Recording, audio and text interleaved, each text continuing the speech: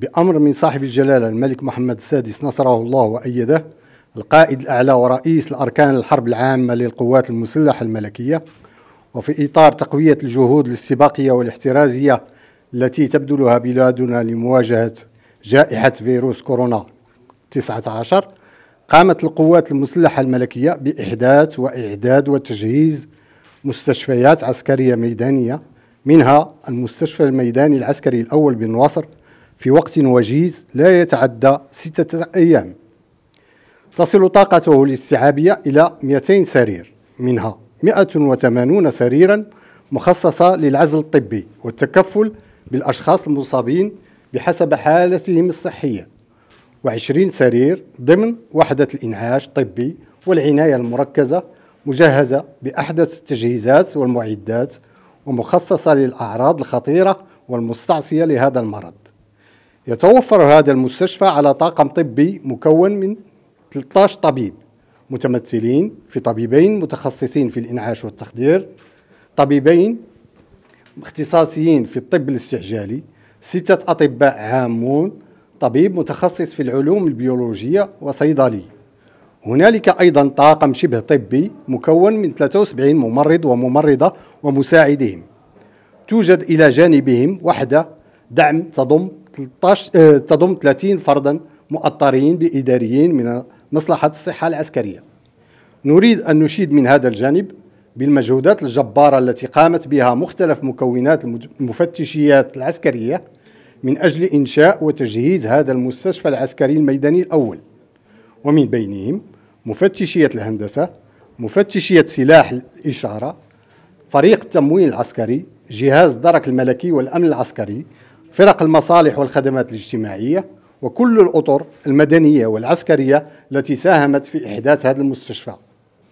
كل الفرق والأطقم الطبية والشبه الطبية مجهزة وعلى أتم الاستعداد لمواجهة جائحة فيروس كورونا 19 وللحد من انتشار هذا الوباء.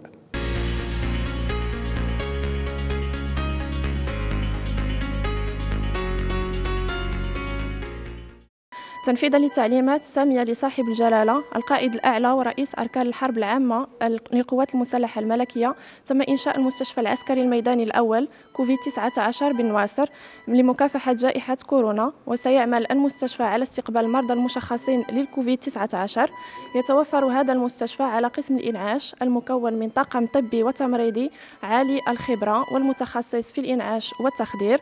كما يتوفر على طاقة استيعابية تصل إلى 20 سرير إنعاش مزود آه، بكافة التجهيزات الضرورية بما في ذلك أجهزة التنفس الاصطناعي. 20 آلة لمراقبة دقيقة وآنية لكافة المؤشرات الحيوية. جهاز الإيكوغرافية لتتبع التطورات الحالية عن كتب.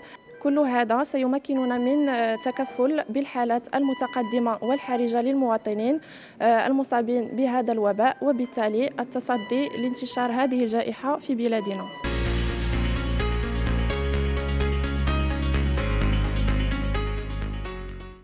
تنفيذا للتعليمات السامية لصاحب الجلالة قائد الأعلى ورئيس أركان الحرب العامة. تم إنشاء المستشفى العسكري الأول للقوات المسلحة الملكية كوفيد 19 هذا المستشفى يضم آه، مختبر يوفر مجموعة من الفحوصات على رأسها تحاليل الدم والبيوكيمياء وبتقنيات حديثة. مما يساهم بتتبع ومواكبة المرضى تحت العلاج خصوصا مرضى آه، العناية المركزة والإنعاش. تنفيذا للتعليمات الملكية السامية لصاحب الجلالة الملك محمد السادس نصره الله القائد الأعلى ورئيس أركان الحرب العامة للقوات المسلحة الملكية لمكافحة جائحة كورونا. قامت المديرية العامة للمصالح الاجتماعية للقوات المسلحة الملكية تحت إشراف مصلحة الصحة العسكرية بإحداث وحدات بمختلف المستشفيات العمومية وكذلك المستشفيات العسكرية الميدانية داخل المملكة ومنها المستشفى العسكري الميداني الأول بنواصر كوفيد 19 ويكمن دور المساعدة الاجتماعية في استقبال المرضى وعائلتهم كذلك تقديم الدعم النفسي والبسيكولوجي والمعنوي والسهر في تلبية حاجيتهم بالتنسيق مع الأطر الطبية لهذا المستشفى.